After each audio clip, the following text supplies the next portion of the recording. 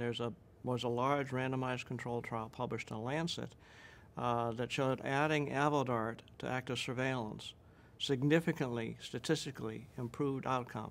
That is, fewer patients progressed on Avodart than on control.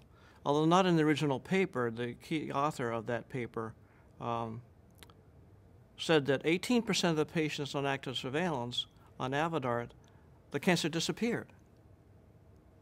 It shrank to the point where it no longer could be detected. We have to assume there are microscopic cancer remaining. But not only does Avodart prevent progression, and uh, just close to 20% of the patients, it caused the cancer to disappear radiologically, uh, which, is, which we've seen in our clinic. Uh, it's very exciting. And uh, so we're finding that we actually graduate patients from our active surveillance program with high frequency at the end of three years. Most patients are with us for three years, and then we give them a blank check and say, you're not, you don't have a problem. Here's what you need to measure every year just to make sure, but this cancer will not kill you.